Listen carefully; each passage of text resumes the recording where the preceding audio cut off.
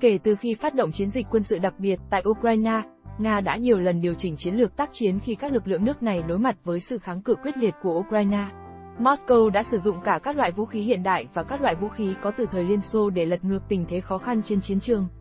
Trực thăng tấn công K-số K-52 là một trong những trực thăng tấn công tốt nhất và cơ động nhất trên chiến trường. Nó có thể bay với vận tốc tối đa 300 km/h, hoạt động ở độ cao gần 5,5 km, ngoài tầm bắn của hầu hết các loại vũ khí bộ binh.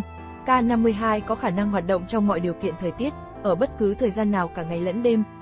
Trực thăng được trang bị pháo cỡ 30mm, ngoài ra còn có tên lửa chống tăng IKSA, tên lửa ATAKA, bệ phóng tên lửa B-8V20 và tên lửa phòng không IGLAV, tùy thuộc vào từng nhiệm vụ.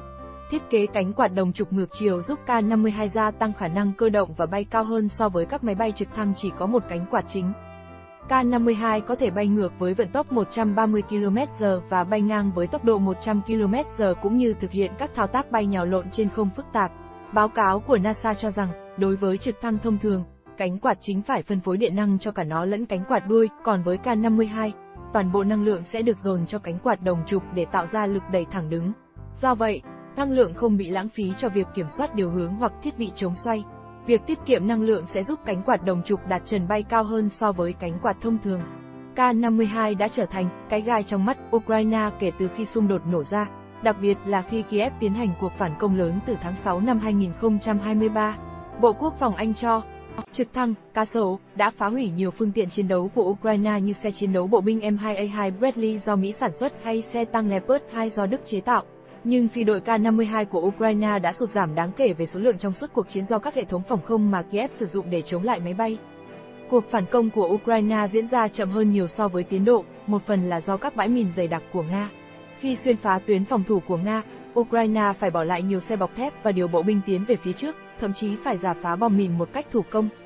Ông Oleksiy Danilov, thư ký Hội đồng Quốc phòng và An ninh Quốc gia Ukraine cho biết, quy mô các bãi mìn của Nga rất lớn, đối phương đã có sự chuẩn bị kỹ lưỡng để đối phó với cuộc phản công của chúng tôi. Có rất nhiều khu vực đã bị gài mìn dày đặc.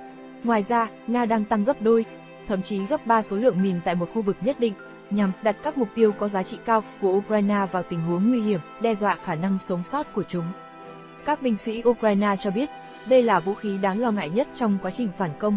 Ở một số khu vực có tới 5 quả mìn trên mỗi M2. Ngoài việc gây sát thương binh sĩ đối phương, mìn còn giúp Nga cản bước của các đơn vị tiến công Ukraine, khiến họ dễ bị tấn công bằng các cuộc không kích, tên lửa và đạn pháo. Nga đã tận dụng các loại máy bay không người lái cỡ nhỏ như UAV cảm tử Lancet để tấn công xe bọc thép, các đơn vị pháo binh và nhiều thiết bị quân sự khác của Ukraine. UAV Lancet do công ty con của tập đoàn vũ khí Kalashnikov của Nga chế tạo, ra mắt lần đầu tiên vào năm 2019. Với tốc độ 300 km/h và mang theo đầu đạn nặng 1 kg, Lancet đá